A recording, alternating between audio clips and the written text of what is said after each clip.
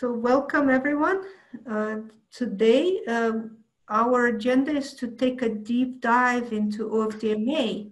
Our chief scientist, Steve Shear, has some really good material to explain how and why OFDMA works and, and when it's best to use. Uh, Steve has uh, over 20 years of experience in Wi-Fi directly, most recently with the Wi-Fi Alliance, but prior to that with uh, other wireless technologies, uh, including uh, GSM, TDMA, CDMA, and he's been involved in several standards, uh, important standards efforts, uh, in addition to the Wi-Fi Alliance certification. And uh, Prachi Samkuar is our systems engineer. Uh, both Steve and Prachi are based in the Bay Area in California, where they work with customers directly and with the Octobox system, configuring and running tests and uh, Prachi has experience with Intel uh, prior to Octoscope. Uh, so with that, I'm gonna let Steve uh, take things over. And uh, the rules of engagement today are, we are obviously making the effort to come to you live. We're doing this tutorial three times a day uh, to reach all the time zones. Um, and so we do welcome direct questions. Uh, feel free to post your questions in the Q&A or raise your hand so you can ask them live. We're going to try to stop at the end of each slide or every couple of slides. So give us a little time and we'll get to your question. And with that, we're ready to go. Thank you, Fanny. Um, thank you, everyone, for uh, joining to listen in. Um, just as an introduction, I want to point out that Wi-Fi 6 testing is uh, really a departure from previous generations of Wi-Fi. Um, in the beginning, we had uh, 802.11b that evolved through A and G, later through 11n, which was known as high throughput um, Wi-Fi 4. 11ac uh, came in as very high throughput or Wi-Fi 5. Um, and even the new 802.11be is known as um, extremely high throughput. So all these previous generations have been uh, focused on giving higher and higher throughput to individual users. 11ax is different in a sense insofar as it focuses on high efficiency uh, for a network, not just increases in throughput. Um, this is important for dense environments like, uh, like airports and sports stadiums and these kinds of things. So when we think about um, uh, testing Wi-Fi 6, we should uh, make sure to, uh, to exercise uh, um, uh, those, those, those parameters. Today we're going to focus on two key Wi-Fi features, MU-MIMO um, and OFDMA. And these are uh, important aspects that improve uh, efficiency of the spectrum, especially as I mentioned in uh, dense environments. Before we go on, um, I'll just touch on the new MCS values that Wi-Fi 6 uh, brings in. Um, Wi-Fi 5 was uh, 256 QAM uh, Wi-Fi 6 brings in 1024 QAM, so that's quite a dense constellation. It allows you to convey basically more bits per second. And that together with the 160 megahertz bandwidth really more than doubles the available throughput. So this is um, also a significant benefit of, uh, of uh, 11ax. so these uh, efficiencies uh, that we talked about are gained really in two um, in two key ways. MU-MIMO uh, increases the capacity um, by creating simultaneous uh, full capacity physical layers, and it does that through uh, through beamforming, as you can see um, in the diagram on the side. It currently only operates in downlink direction, Um, but Wi-Fi 6 uh, R2 will have that working in, uh, in uplink. OFDMA uh, increases efficiency um, by allowing up to 37 users to be on the air simultaneously. And this has a huge benefit in reducing overhead for each frame. We'll take a look at that in a little bit more detail later on. OFDMA works in uh, both the downlink and the uplink directions. so it's uh, it's pretty much um, a, fully fledged in in R1. We'll take a little step back um, in history. Um, we've always had frequency division, multiple access. This is a conventional frequency scheme. It allows different users uh, um, to have uh, different services, and they do that by allocating different channels. Um, orthogonal uh, frequency division, multiple access, is, uh, is much more efficient than the traditional FDMA uh, because these uh, subcarriers are, are orthogonal and they don't require guard bands, which is, is, is a waste of spectrum. Um, the other interesting thing about this is that, unlike uh, FDMA, these individual carry, uh, carriers can be allocated dynamically. So one can allocate uh, a number of carriers to, uh, to a particular device depending on its data rate requirements uh, um, and so on. So this is done on a dynamic uh, basis. And uh, results in, in a very efficient system. An important aspect, though, um, about, uh, about OFDM is uh, that these uh, carriers must be orthogonal. So by orthogonal, what we mean is that adjacent carriers do not interfere uh, with one another. And if you take a look at the um, at, at the response there, you'll see it goes through zero um, uh, right exactly where the each adjacent uh, carrier is.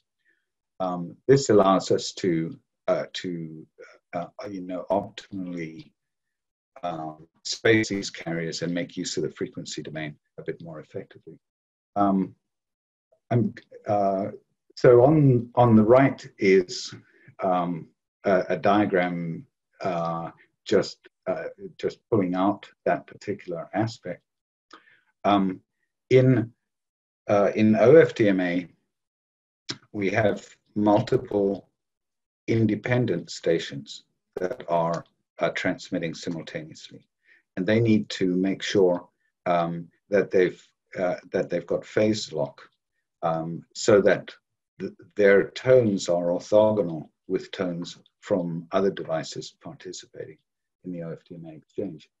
If that, if that is not an accurate phase lock, these tones can, can move across like this, and you can see they generate interference um, in, in the adjacent tone.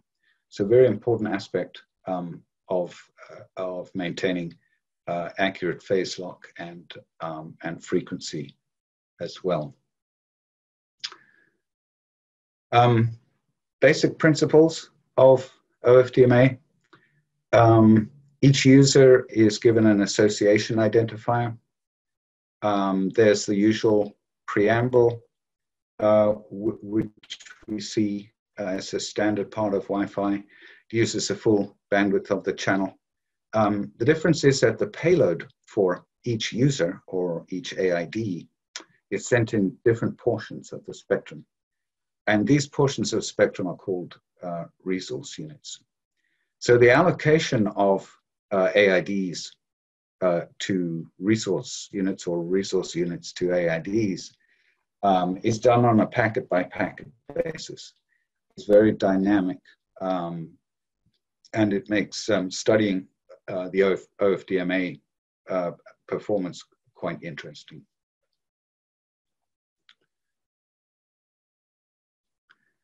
a key part of OFDMA is the trigger frame. The trigger frame is uh, sent by the AP. Um, it contains information about which participating devices uh, are going to uh, participate in that particular uh, uh, um, uh, frame. Um, and it provides um, it provides a, a time, a frequency, um, and a power reference for the devices. In this case, that would be doing um, uplink OFDMA. Um, there are very stringent uh, requirements on the timing of devices to respond. Ideally, they should all respond simultaneously.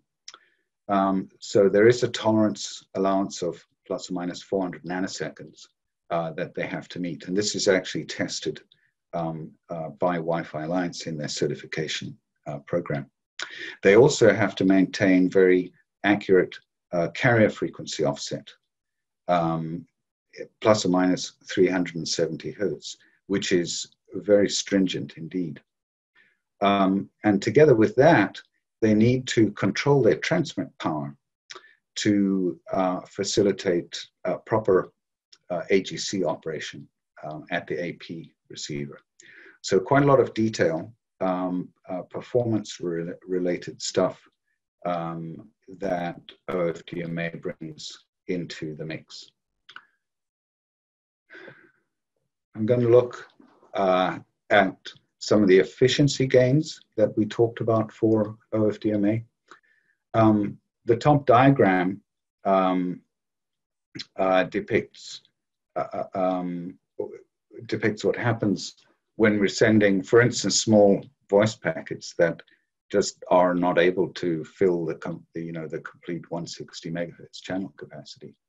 There's a lot of overhead leading up to the actual useful information, uh, contention period, uh, RTS and CTS and preambles and stuff.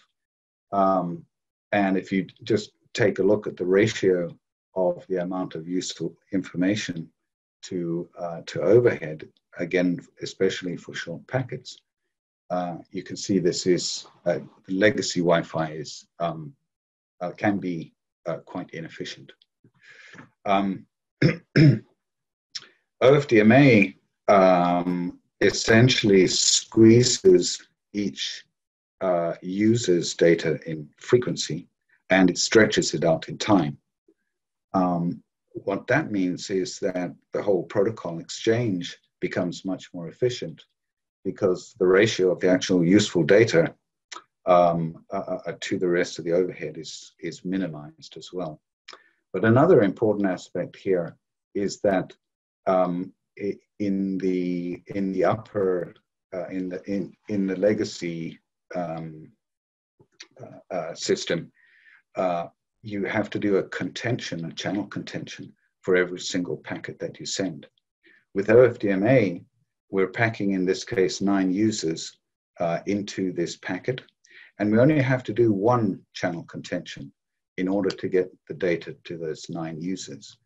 So just intuitively, you can see there's a great gain um, in efficiency there.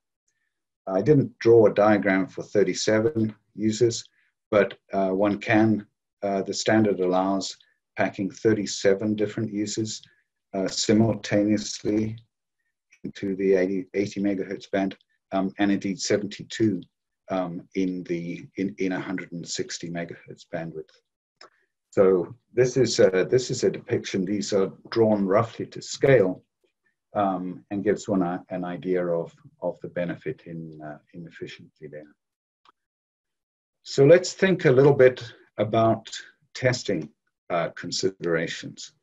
Um, we've, uh, we've spoken about the need for many devices. That's what Wi-Fi 6 is, to, is designed for. We should really be testing uh, these new features um, in, in the way that, that they were designed. So uh, we have a thing we call the PAL box. This contains um, 16 individual STApals. These are uh, uh, uh, um, physically individual STApals. They all run on a, a Pico ATX um, board. We make use of the Intel AX200 receiver. Um, and we have different flavors of, of Linux and, and Windows. We also group them in um, group uh, four groups of four. Uh, these are two by two stations, and we feed the uh, uh, we feed the signals into the corners of the testing chamber. This gives us uh, the maximum um, spatial diversity for each of these groups. Means we can test MU-MIMO in this chamber, and that uh, that works very effectively. But again, with the number of of, uh, of stations here, we can very effectively test OFDMA as well. These are some of our PALs. Um, PALs are test instruments. Um, the STApal is the little guy um, up on the top right there with the two antennas. Uh, as I mentioned, it is it, it is a, a standalone um, uh, station with its own computing power um, inside it. Uh, we packed 16 of these into a PAL box. Makes for um, a great deal of parallel processing um, in that box. and um, it also contains a PAL6 as well. You can see the stack here um, with the PAL box door open, uh, cram uh, packed with these uh, uh with these.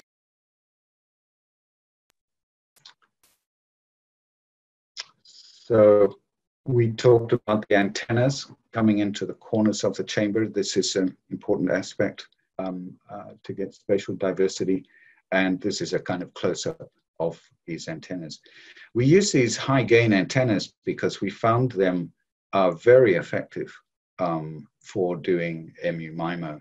It's, a, it's an excellent way to couple um, to the device under test with as little loss as possible. Um, and for devices that don't have um, antenna connectors and so on, we, this is a very, uh, a very practical way of doing things. Let's uh, take a quick look at MU-MIMO. Um, MU-MIMO, uh, uh, sorry, uh, single user MIMO can really only service one user at a time. This is kind of the, the legacy uh, Wi-Fi that we understand, uh, where one device is, is um, serviced at a time, essentially time sharing the channel. And that limits the, um, limits the amount of uh, traffic that you can get to each device. Um, in the case of MU-MIMO, um, it effectively creates um, uh, uh, um, uh, in individual PHYs by using beamforming. And this can simultaneously serve each of these separate, uh, spatially separated users. Um, so this uh, gives us actually a much higher aggregate throughput for the network. And just as an example, um, if we had three MU-MIMO users, um, we'll get nearly three times the aggregated throughput. So a very effective feature of uh, Wi-Fi 6. Um, I'm going to run a demo of MU-MIMO, uh, Wi-Fi 6 MU-MIMO. Um, I'm going to select uh, two PALs uh, from uh, opposite corners of the box. Um, and we're going to run uh, MU-MIMO traffic uh, we'll start off with in, in single user mode, um, and then we will we will switch that uh, uh, switch that that on. Let me just um, pull this up here.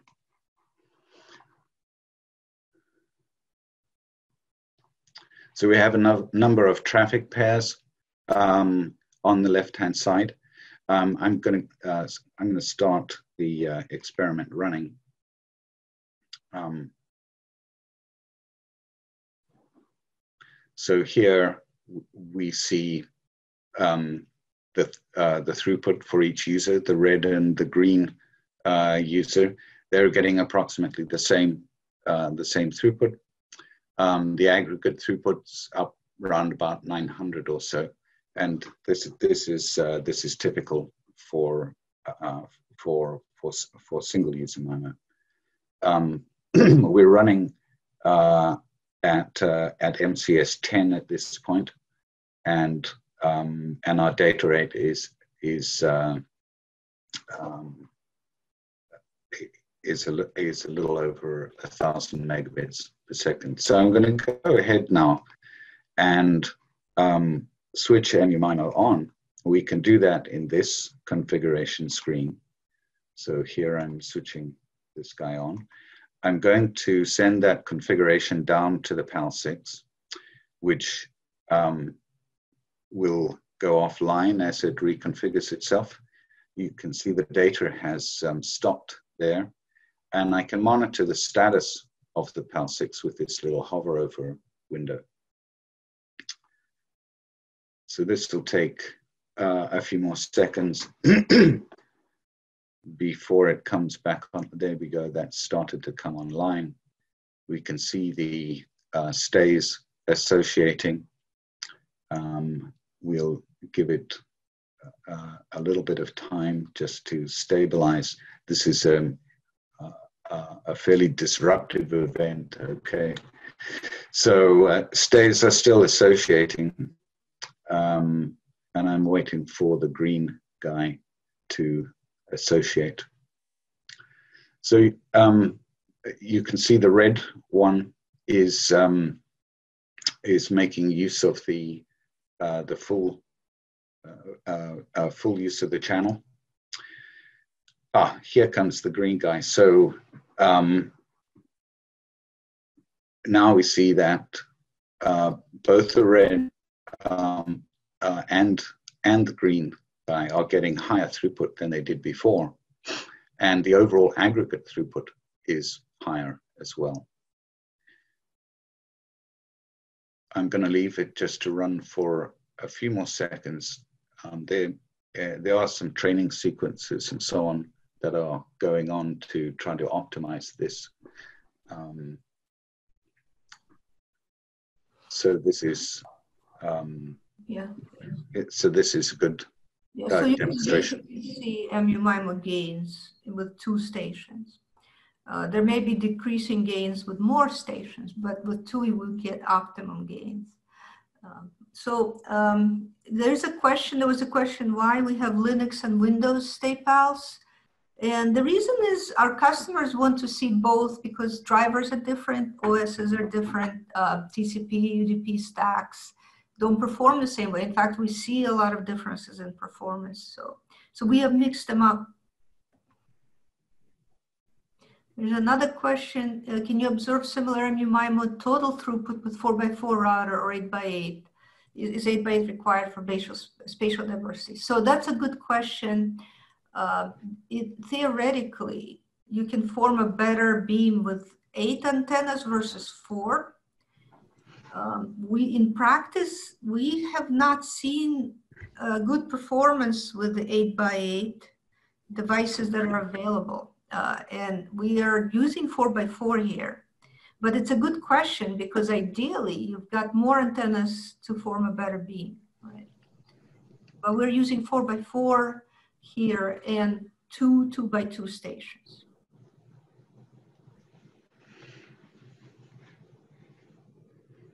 Okay, thank you, Fanny.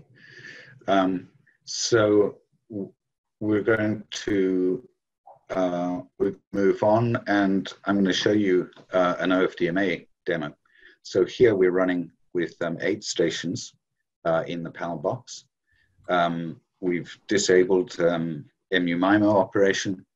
Again, we're running two stream uh, STApals um, on, on a Linux OS.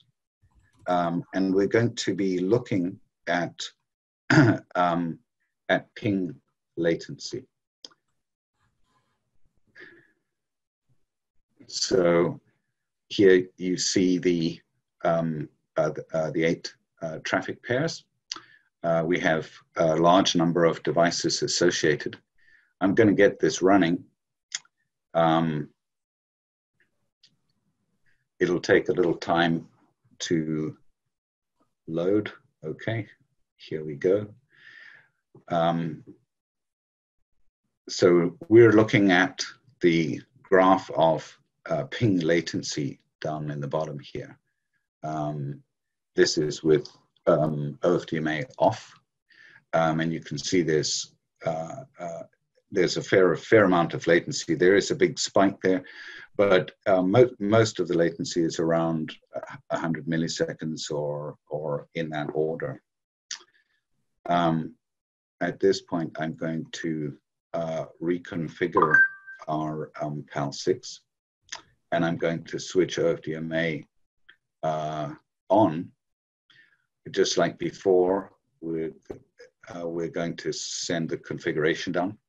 The um, PAL6 has gone offline, and the data traffic has stopped. So we'll give it a, um, uh, a few seconds for it to reconfigure itself.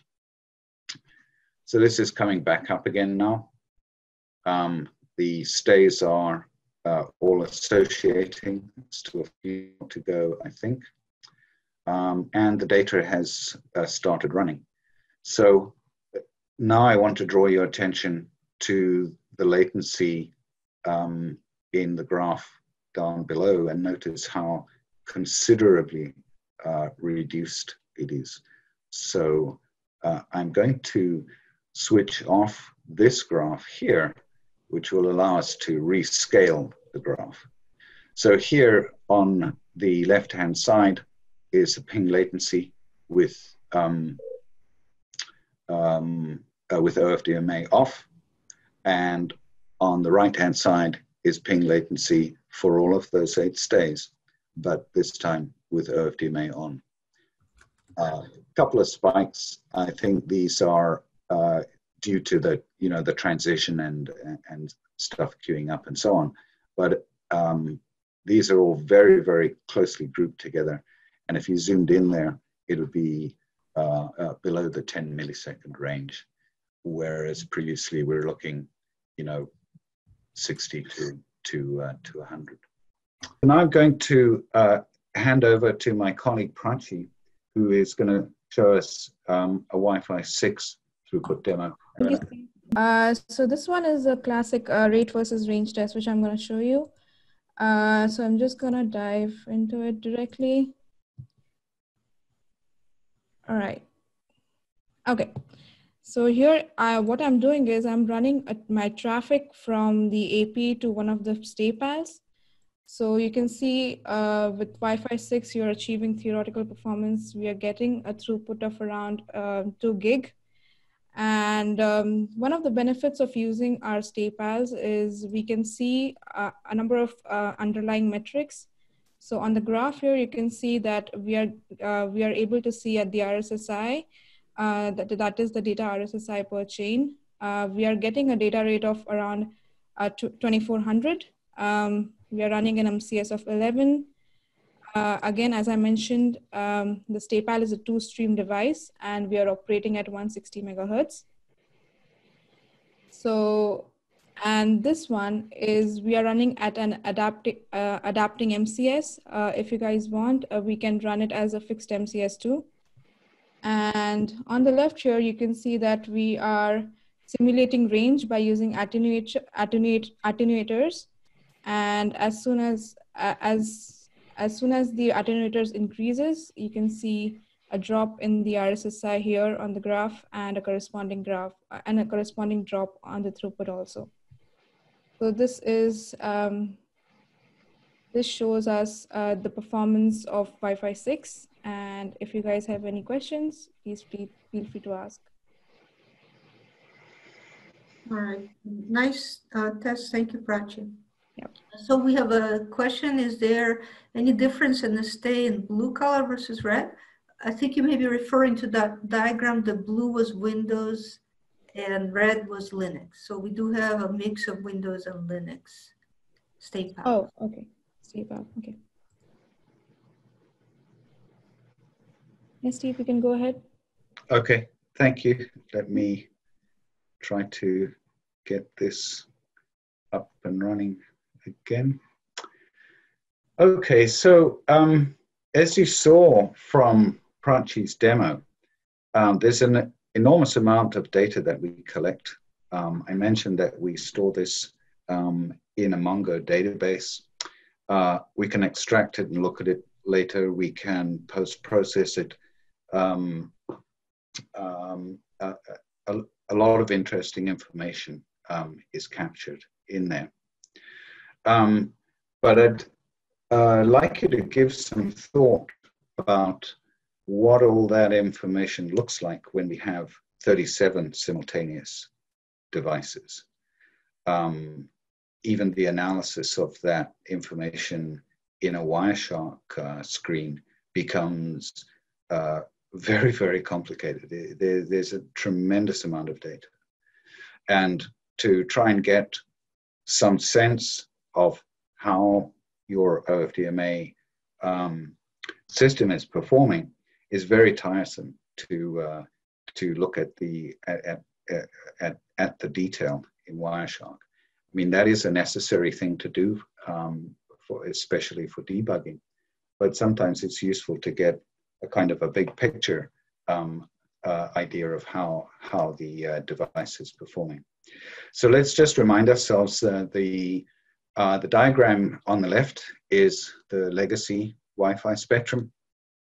Um, uh, single user at you know one user at a time.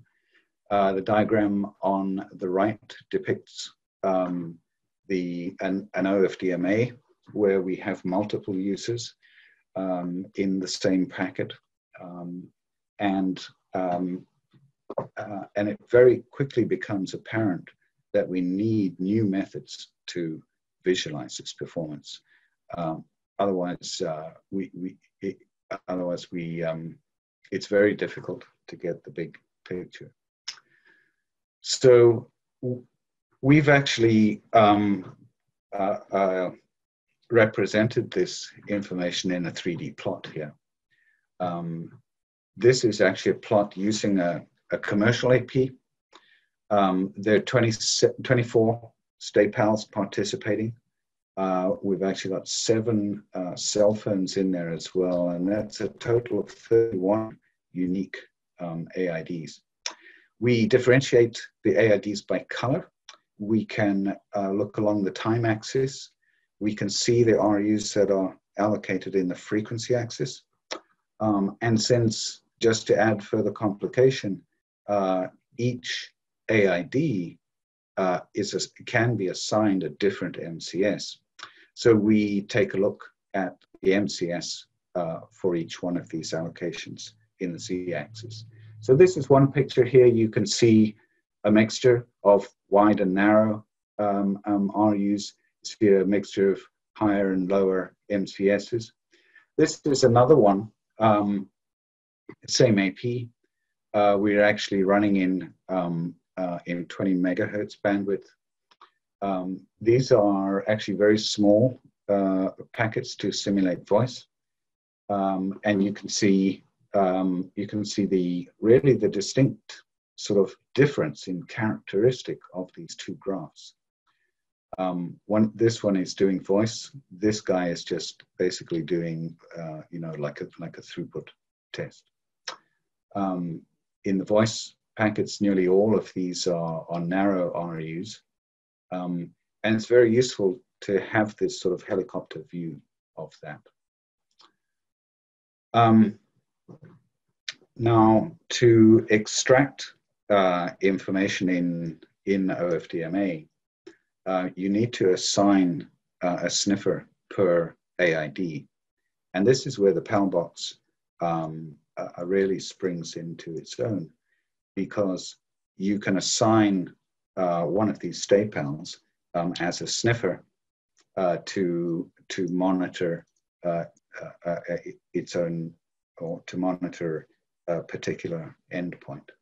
So we can set up a number of sniffer, uh, a number of OFDMA sniffers, um, and a number of endpoints, and we can get a very good picture um, of uh, what's happening in this OFDMA system.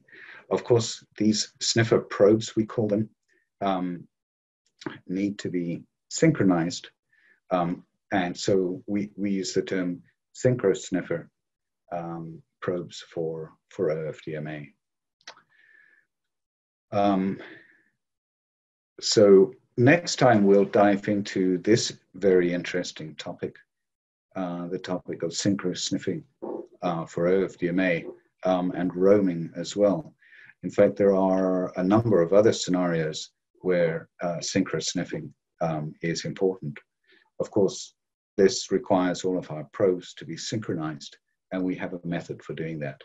Uh, we'll be discussing that in more detail um, in the next tutorial session. So I think we have a few minutes left over, and I'd be very happy to try and answer any questions if you have them. Yeah, there's one question. Um, can I test TWT and BSS coloring using STApals? And the answer is yes, uh, we can. We may be showing a show, uh, some tutorial on that uh, down the road. Uh, so as far as TWT, we ourselves have not tested it. We've tried uh, Intel AX200 driver appears to be broken in some ways. And so we're still not getting TWT with any stations that we have. Um, and, but we, we, we do have uh, the capability and it's enabled in our PAL 6. Uh, so STApal's uh, waiting for it to be fixed. That's, that's the answer. But the testbed does support these tests and we plan to do them both. The coloring is a different test. So that's also coming. And the test is will, will support it. We have a specific uh, signal flow of, the, of um, the traffic for it uh, with the adjacent overlapping uh, BSSs uh, for coloring.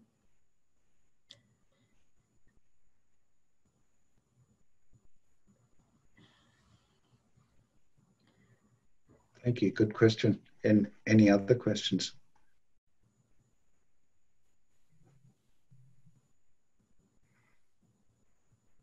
So I, I am based um, in the Bay Area. Um, hopefully things are going to get back to normal um, and you'd be welcome to come and visit our facility there. Um, but in the meantime, um, if you have a particular topic that you'd like us to cover, something of uh, interest to you, please feel free to uh, to drop me an email directly, um, and we'll see what we can put together to uh, uh, uh to cover that for you. There's another question, uh, Steve. You may be able to answer. How is the participation in the uplink of the mainframe negotiated? Is there an exchange required? Oh yes, right. Um, uh, it, that that is that's a good question, and it's um it's a very important aspect of uh, of OFDMA. So I'll take you back to this um, uh, to this diagram here. The the the it's not really uh, a negotiation as such, um, although one could think of it a little bit in those terms. The trigger frame that the AP sends down contains it, in it information about who the access point, which STAs the access point wants to hear from. So that's that's where it basically lays it out. Um, and if you take a look at a trigger frame, uh, you will find the individual uh, AIDs actually listed uh, in that. So that's the that's the um, uh, dare I say uh, trigger that uh, that controls um, the transaction.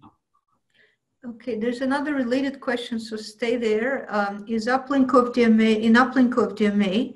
Does each STA send its own preamble? So the answer is yes, but there is also a common legacy preamble, which is on a previous slide, I think.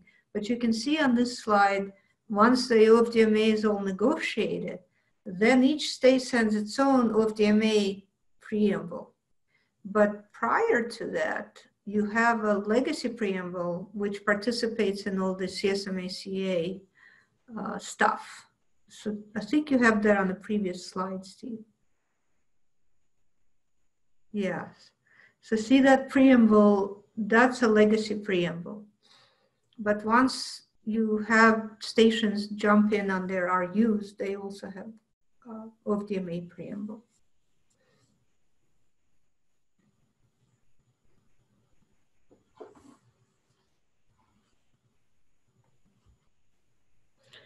All right, folks. Well, uh, thank you very much. Uh, we're delighted that you joined us. Uh, and um, we look forward to hearing from you. If you have any further questions or would like to come and play with the gear. Yeah, thank you. Thank you very much uh, for listening. Okay, bye-bye, everybody.